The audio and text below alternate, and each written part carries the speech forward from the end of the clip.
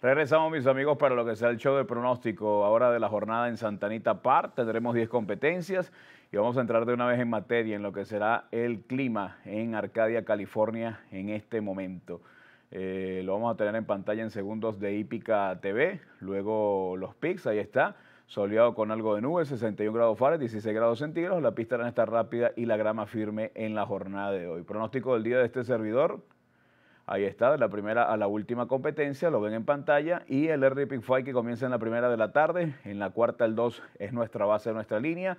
Y el Pick 6 que es con un factor, multiplicador eh, de un dólar, en la séptima el 2 es la base de la línea de este servidor. Quinta competencia, y ahí está el Coast to Coast que comienza en la octava de Goffrin Park por 144 dólares, en la séptima el 2. Estamos utilizando la misma línea de Pick de Santa, de Santa Anita Park. Quinta carrera, un Alamo Sectional Claiming por 50 mil para caballos de 3 y más años, una milla en grama, una fórmula de 3 en esta competencia. Me voy a quedar en primer término con el número 7, Mystification, el de Duke O'Neill con la monta de Héctor Berrío, caballo que ha mejorado muchísimo. Él reapareció arribando cuarto a cuatro cuerpos en un grado 3, lo hizo en arena, lo llevaron a la grama nuevamente y arribó tercero a tres cuartos de cuerpo un grupo parecido a este, trabajó el kilómetro en un minuto exacto, cuatro quintos, tiene velocidad y aunque en su última pagada 14 1, hoy con dos libras más pudiera ser el ganador de la prueba. Su rival el número 3, Man Amon Man, el de Richard Mandela con Humberto Rispoli. Este era el gran favorito, donde Mystification arribó en el segundo lugar. Él arribó cuarto a dos cuerpos, trabajó tres fulon en 36-1, va a correr colocado y debe presentarse con fuerza para estar diciendo junto al número 7.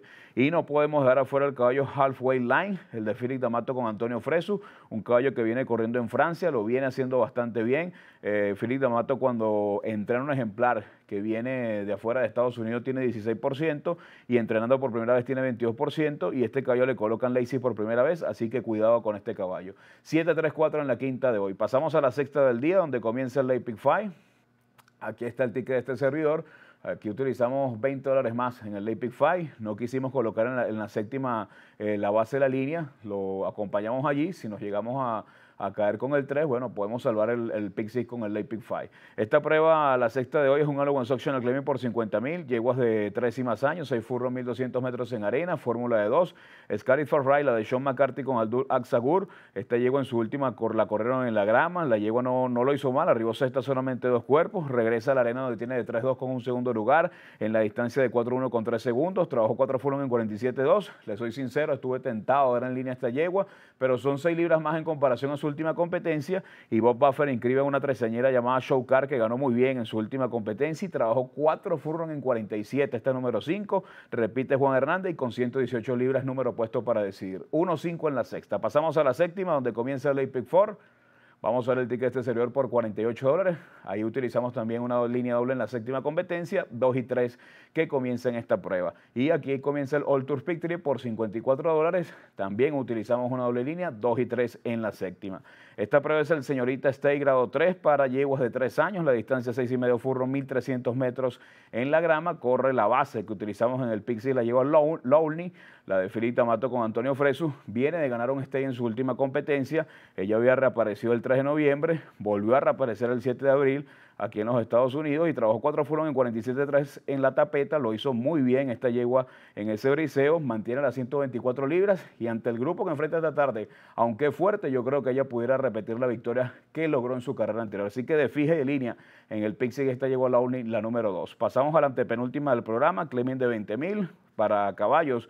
De 3 y más años, 6 furlong, 1200 metros en arena, fórmula de 2, Solos Midnight, el de Gary Stute con la monta de Víctor Espinosa, es la velocidad de la competencia, lo hace muy bien en la distancia, lo hace muy bien en la arena de Santa Anita Par, un caballo que va a tomar la delantera, eh, ya tiene, ya ha corrido con 126 libras, yo creo que es el caballo a ganarse, su enemigo Crowning Gold, el de Brian Corner con Antonio Fresu, segundo a tres cuerpos en su última competencia en 16 mil, lo suben a 20 mil, le colocan gringo, las trabajó bastante bien y creo que estos dos caballos van a ir a correr temprano, allí primero segundo y van a decidir la prueba porque el lote es muy pero muy discreto, 6 y 5 en la octava de hoy. Pasamos a la novena de la tarde, es un Allowance por 55 mil dólares. Ahí comienza el Golden Howard Pick 4. Ahí está el ticket del equipo de Ipica TV por 72 dólares con las marcas de Alfredo Alfonso en Golden Gate Field y la marca de este servidor en Santa Anita Par. Esta prueba nos quedamos con una fórmula de tres, luce bastante el 7, la yegua Big Summer, la de Carla Gaines con Humberto Rispoli, viene llegando cerca en carreras de este en sus últimas tres presentaciones, trabajó muy bien en sus siete carreras en la grama de Santanita Par, en todas ha figurado, igualmente en la distancia, va a correr colocada y aunque tiene dos libras más y reaparece, yo creo que es la yegua a ganarse. Su enemiga, la número 10, Joss Nails, la de Duconil con Antonio Fresu, se acercó mucho en su última competencia, tiene velocidad, trabajó el kilómetro en un minuto exacto tres quintos, cuidado con ella, y la yegua La pupila de Stignal con Giovanni Franco, en su última fracasó, es cierto, pero regresa a la pista de Santanita para donde tiene de 5-2 con 2 segundos, ha trabajado excelente, corre eh, muy cerca de la punta, cuidado con ella que pudiera ser una sorpresa. 7, 10 y 8 en la novena, pasamos a la última de la tarde donde comienza el Golden Howard Double por 30 dólares, tres marcas en la última de Santanita con dos marcas en la última de Golden Gate Fields.